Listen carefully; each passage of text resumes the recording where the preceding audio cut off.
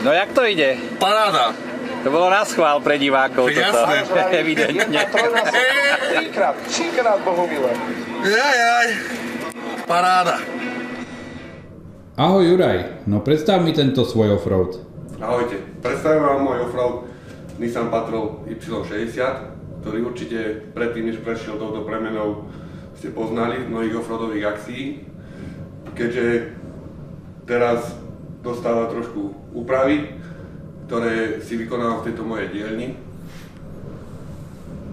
Tak Čiže vidím, že tu máš aj peknú piecku, teplodetu. teplotu je, je tu sústruh, je tu Jasné, preska, máš tu, máš tu vrtačky. nejaké vrtáky, vrtačky. Váračky není problém na toto, na toto špeciálne, Máš to tu pekne kompletne vybavené, človeče. Není to vôbec zlé, potom sa nečudujem, že v takýchto podmienkach sa dá urobiť takéto auto pekné. No, bolo to, niektoré veci sú náročné vyrobiť, ale vždycky, keď je dobrý, dobré vybavenie, tak sa to dá, dá sa to zvládnuť. Jurko, tak poďme sa bližšie pozrieť teda na toto tvoje autičko pekné. Hneď mi tu padol do oka to krásne pozváraný šnorchel. Zaujímavé. Prečo je taký? Ten šnorchel je z toho dôvodu taký vyzvádaný, aby to auto vyzeralo drsne, proste, že to je taký otrhaný, otrhaný. Takže z toho dôvodu. No, no pekne, no inak sme v garáži, pretože vonku nám vyšlo škaredé počasie, prší tu, pomaly večer asi zdá sa, že bude aj snežiť. Tak tie podmienky sú trošku na natáčanie stesnené, ale snažíme sa ukázať vám, teda čo v tom aute je a čo urobil, čo najlepšie, no, ako sa to bude dariť, uvidíme. Prešli sme, skelet ostal z Nissana Patrova. Kabína ostala zateplená z Nissana Patrova z Y60, pretože chcel som mať aj čelné okno, aby tam proste bolo teplo. Hej, ako vidíme, to ostalo celé. Pekne kabína uzavretá s kúrením, so všetkým, je to paráda. Na, tú, na ten skelet vlastne sme prirobili e, klietku z chromolidovej rúry, proste, ktorá, je, ktorá by mala už vydržala nejaký ten kotrmelec, ale mala by vydržať aj viacej tých kotrmelcov. Sú to riadne pozvárané rúry, ktoré, ktoré sú aj pospevnené v každom rohu, čiže tá pevnosť tam, pevnosť tam nejaká bude. Vyhýbanie tých rúrok bola celkom zá, zábava, keďže som to robil prvýkrát. A čosika som si o tom aj naštudoval a riešili sme uhly, kde sa to nie moc vždy podarilo dobre spraviť tie uhly, ale tak snažili sme sa. Keď budem stavať niečo druhé, tak to bude určite lepšie. Potom, postup, potom prišlo naraz lakovanie, dali sme tomu farbu, takúto bielu, takýmto krásnym polepom čokra, ktorý už čo to má za sebou. Je to pekné, no. no keď je to odblata, tak človek potom ani ale nevie, čo tam je na tom. No je, keď je to odbata, tak je to úplne potom celé hnedé. Takže tá základná farba preto je biela radiátorová, radiátorová, lebo vlastne bola najlacnejšia na farbe na terénnom aute, absolútne, absolútne. Jasné, tu už je vidieť aj zásah vapky zrejme. No to Pri umývaní toho pri blata To ide. sa stáva niekedy, to je jasné. Pozrime sa, ako to auto vyzerá aj zozadu. Čo je všetko porobené tu. Takže Toho tu dosť. vzadu máme 60 litrovú palivovú nádrž, ktorá je doma vlastne vyrábaná, celá zváraná, na novo komplet proste na mieru vyrobená. Ďalej tu máme dve baterky, Optimi gelové, lodné, proste, ktoré vydržia fakt úplný, úplný nezmysel. Ďalej tu máme kompresor, ktorý nám poháňa smerové brzdy, čisto iba na poháňanie smerových brzd. Chladenie z dôvodu toho, že vpredu sme skracovali nájazdové uhly, musí, muselo byť premiestnené dozadu. Hej. Chladenie vzadu má strašne veľa nevýhod. Strašne veľa nevýhod, viacej ako, ako výhod. Vlastne výhoda vzadného chladiča ani, asi ani nebude žiadna proste. Je to len kvôli tomu nájazdovému uhlu. Hádam sa aj nezadrbáva toľko od blata, ale nie? Tak to je jediná, jediná taká výhoda, že sa Keď brodíš niečo, nejaké tie blatové kaluže sú, tak vlastne ten chladič je tu nápomstatne najviac chránený. Tak určite je tu naj- najviac chránený, lenže prost, účinnosť toho chladiča je tu vzadu, keďže ten vietor ho tu do ňoho, odporový vietor tu nemá ako do ňoho ísť, takže je to minimálnu účinnosť. Môže byť chladič akokoľvek veľký, ale má to tu minimálnu účinnosť. Ne. Čiže má to viacej nevýhod ako výhod, ale inakšie sa to postaviť nedá. navijačik. Vzadu máme navijačik, Elektrický, hej? Elektrický, sam, taký samozrejme, taký, čo používame na, keď sa prevrátime alebo keď potrebujeme zádok odhodiť Jasne. niekde do kopca. Je to aj pekne umiestnený high lift. High lift musí byť, to ako poriadny teréniak má mať high lift, samozrejme. Hasiace si prístroje pri takomto aute, proste to tam musí byť. To auto bez toho stávať není, není, nemá ani význam. Nikdy neviete, čo sa môže stať na tej elektroinštalácii alebo niekde a už potom je neskoro. No pekne. Dobre, môžeme pomaličky prejsť aj sem, dopredu povieme si niečo o interiéri. Dáme sa dovnútra, no. Takže máme tu komplet, celá prístrojová doska je vyrábaná. Ručne není tam e, z pôvodnej patrolovej kabľovačky elektroinštalácii není absolútne nič. Všetko je ťahané na novo, aby to vydržalo aj ponory. Pomáhali mi s tým moji kamaráti z BA servisu z Bánoviec, ktorým týmto možno, že aj tak poďakujem celkom pekne. Máme tu budíky, ktoré ukazujú teplotu vody, e, tlak turba, otáčky, dobíjanie a všetky tieto veci. Hej. Máme tu ovládanie nejakých, nie že nejakých navijakov, predný, zadný. Ďalej máme ovládanie uzavierok a v stredovom paneli máme vlastne ovládanie svetiel, e, zapínanie, štartovanie, s- stierače, prídavnú vodnú pumpu, 24V systém iba na navijak, čo si prejdeme za chvíľočku, keď budeme riešiť navijak, vzduchovú voľnobežku a prídavné vodné čerpadlo vlastne k tomu chladiču dozadu. Dobre, tak anatomické športové sedačky. Sú tu športové sedačky, Štvorvodové pásy, hej, vidím. štvorvodové pásy, homologizované. Áno. V strede máme ešte dva odpojovače, tých odpojovačov nikdy není dosť. A pod tým máme smerové brzdy spravené, ktorý je taký môj ešte nedokončený projekt, ale fungujú, fungujú celkom dobre. Treba ešte vychytať muchy, keďže na tomto aute je to vždycky pokus omyl, hej, robíme, skúšame, učíme sa, takže tak. Tu vpredu vidím špz není úplne slovenská, ale nevadí, však je to špeciál, zrejme to ani nemá papiere, čo je jasné, hej.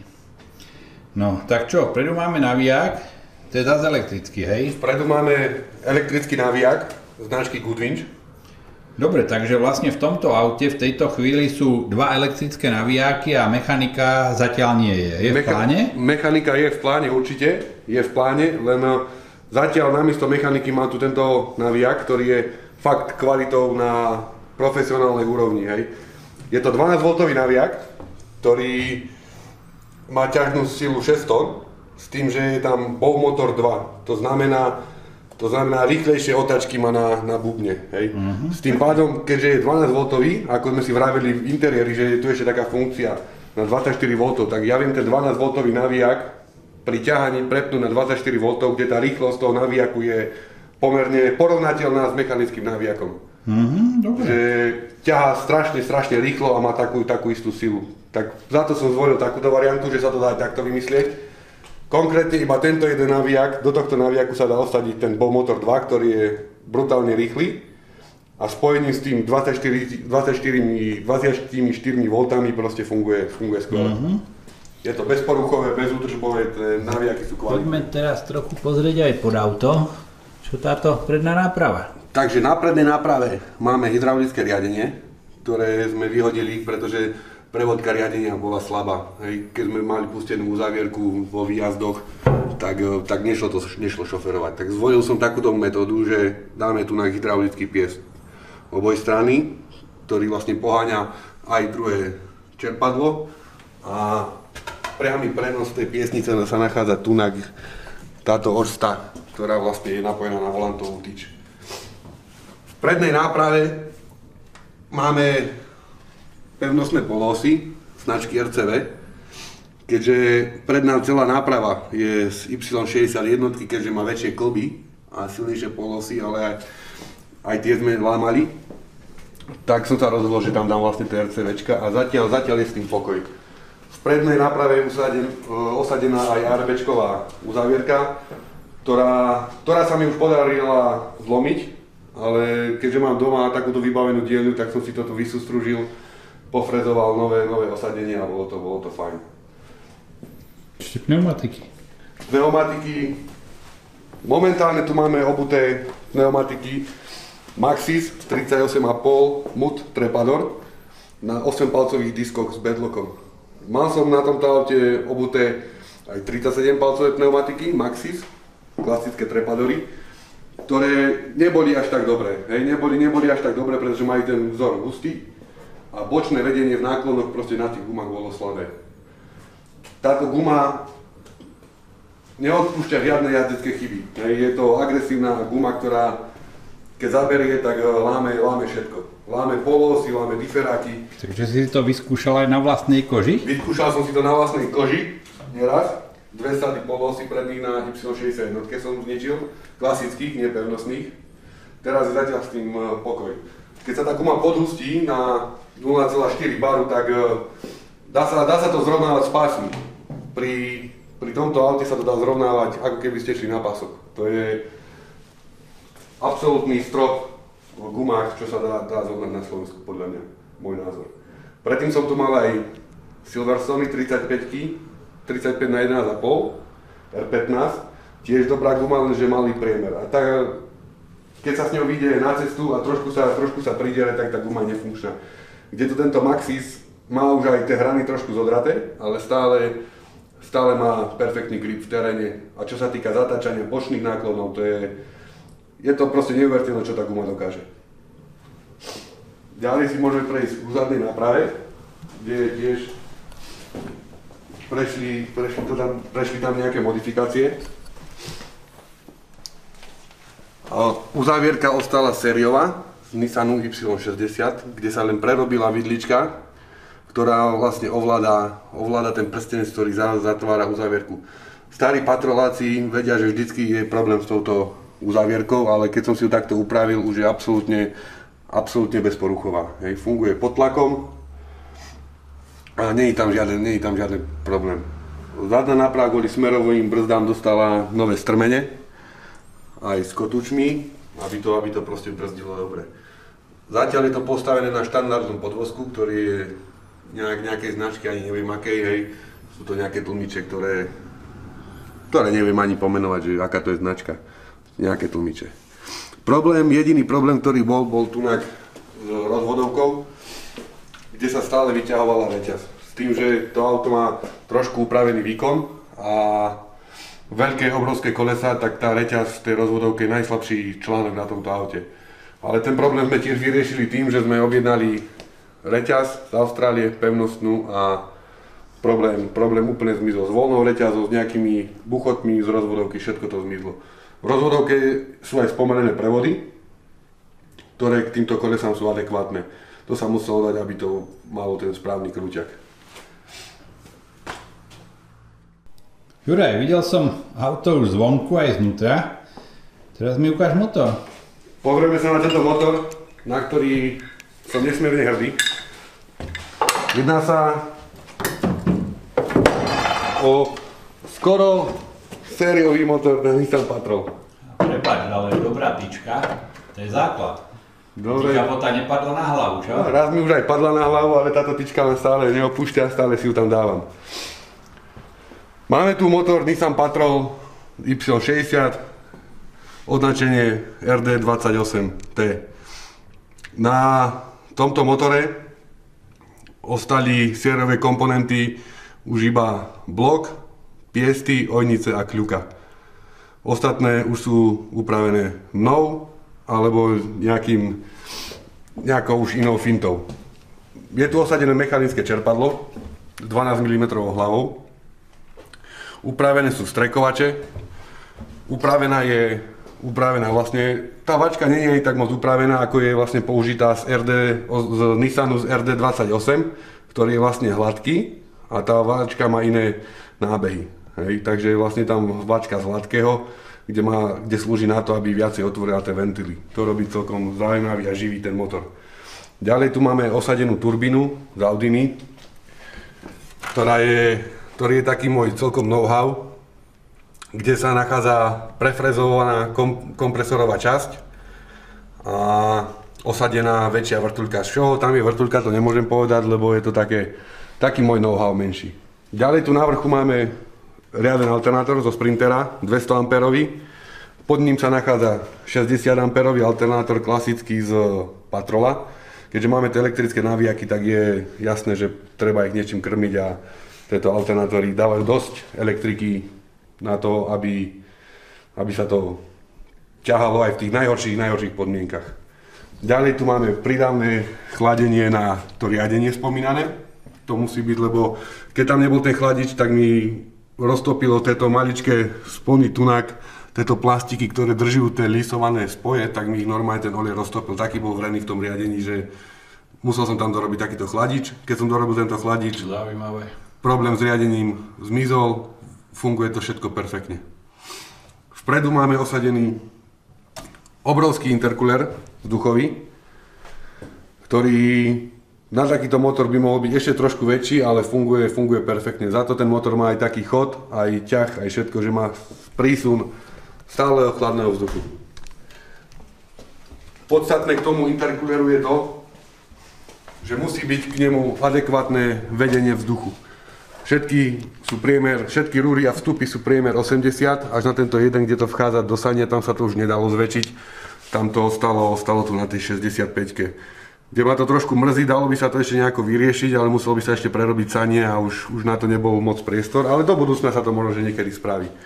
Dôležité na tom je mať obrovské, obrovské rúry, kde ten vzduch bude prechádzať čo najnižším odporom a kde sa nebude hriať. Ďalej tu je filter Simota, taký klasický, hej. Je tam v ňom osadená športová hruška. A to myslím si, že bohate tento filtrik stačí, stačí na to, aby, sa to, aby ten motor mal vzduchu toľko, koľko má mať.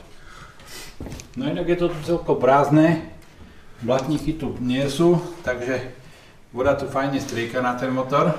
Nevadí to? Ne, nepremýšľal si o nejakom zakrytí?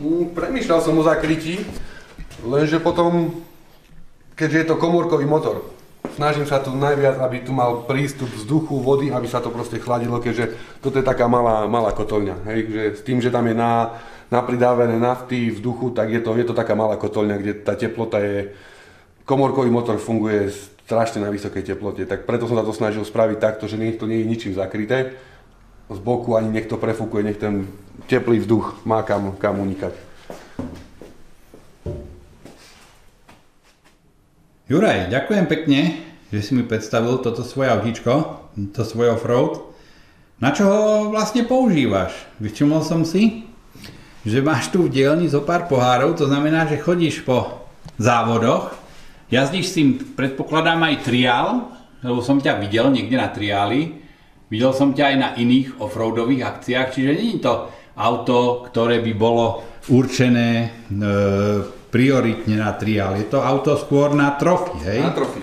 Na trofy som aj stával, na Áno. trofy vlastne bolo aj postavené, takže zaujímajú, zaujímajú ma iba trofy, hej. Ten triál je pre mňa Áno, to je taká doplnková taká doplnková. radosť. A okrem toho chodíš aj, predpokladám, na také bežné offroadové akcie, ja neviem, napríklad Tisovec a podobne, Áno, hej? chodíme, chodíme pravidelne. Na lúky. Lúky, Sučany. Mhm, dobre. Teraz sa chystá závod Čechách na Prajskej, na skladke pri Ostrave. Ideš? Áno, chystáme sa, chystáme Hej. sa tam riadne pojazdiť, Počul som. Počul som, že tam ide celkom slušná ekipa zo Slovenska, tak uvidíme, či pribudne k týmto pohárom aj ďalší. No dúfam, že hej. Dúfam, že hej. Dobre teda, tak ďakujem pekne a vidíme sa teda na tej Prajskej. Ďakujem, že, ste, že som mohol predstaviť toto moje auto a pozdravujem všetkých odberateľov kanálu Miro Miroza. Ahojte, vidíme sa.